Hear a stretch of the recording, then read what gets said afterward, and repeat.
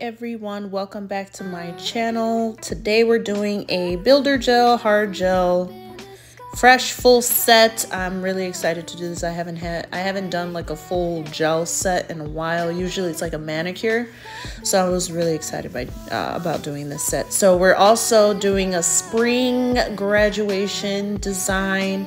Very simple, so sleek and cute. She showed me two of her dresses that she'll be wearing, so we had to coordinate with her outfits.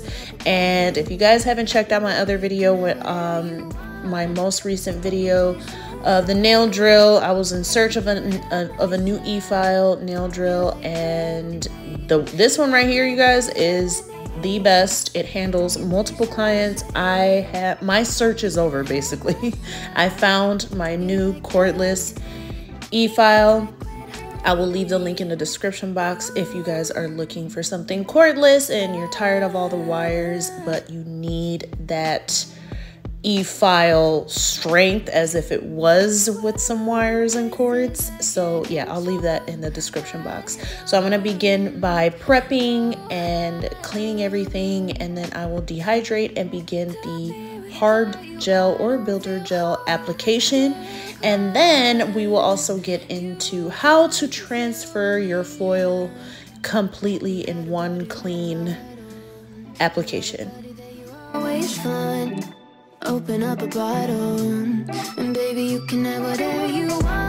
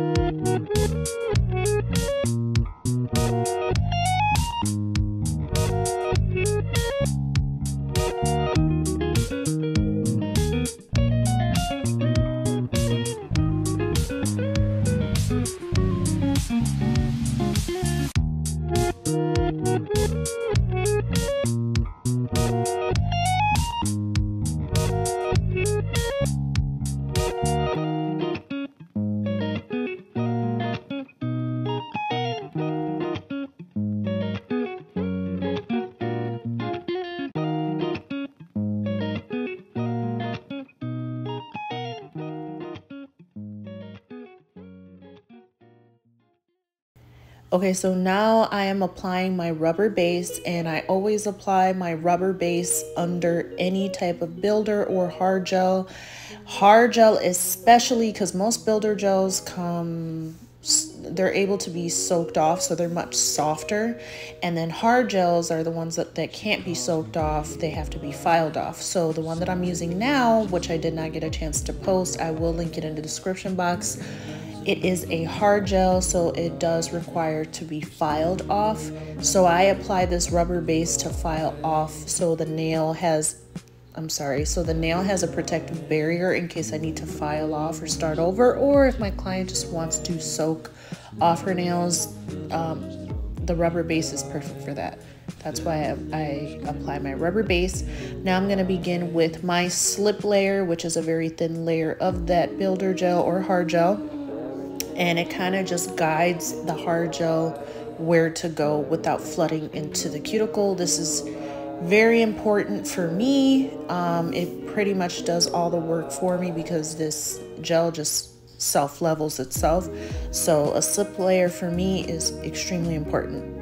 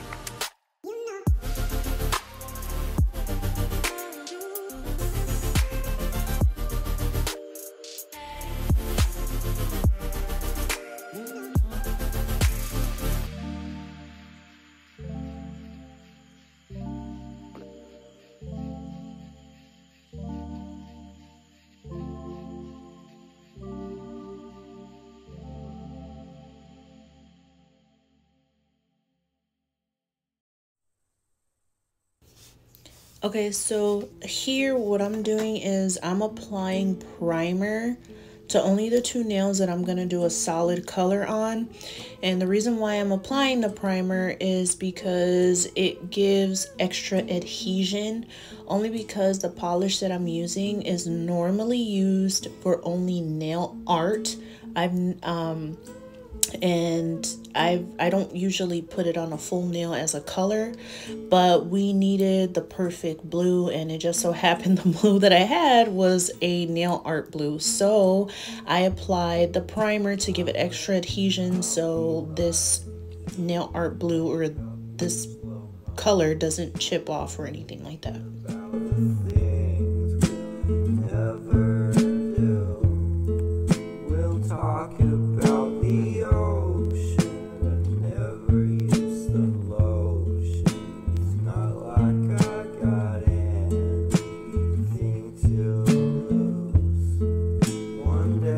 passou.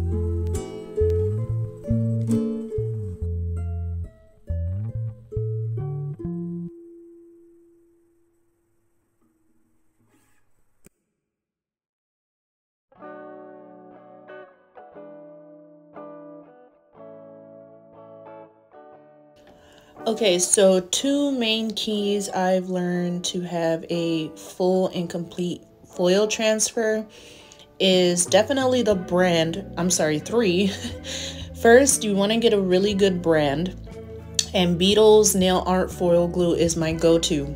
I also I also have the Makartt, and that one is okay, but Beetles is my main one for some reason. Um, I will eventually use my Makartt at some point. But so the brand, and then second, you want to make sure your curing time is accurate. So I have an 80 watt UV LED lamp, and I only need to cure for 30 seconds. My other lamp that I had that was around in the 40s or 50 range, I only cured for I had to cure for 60 seconds and I had to find that out by experimenting um, with different lamps because you know the the, the strength of the UV um, is they're not all the same. So I definitely had to experiment, and that's what I've learned. And then third key is rubbing. You gotta rub, rub, rub. Use your fingertip and kind of roll all that on there. Use your fingernail to uh, you know get the creases. You don't have to go. You don't have to apply like too much pressure. If you do too much pressure, you will rub it off as in like you're gonna move the the the the picture around, you know, the foil around, and you don't want to do that. You just want to just kind of blot, rubbing motion, pressing. Uh, you can use your fingernail to get the little creases of the area, and then when you're pulling off, you want to pull off slowly. But sorry, that's my client is about to be here, uh, here actually. Um, but the key is just to make sure when you're peeling off you want to get all those creases and everything off um, everything nice and smooth. And if you have a part that came off like you just seen there you just press again and that's it. So that's today's video. Let me know what you guys think and stay tuned for the next one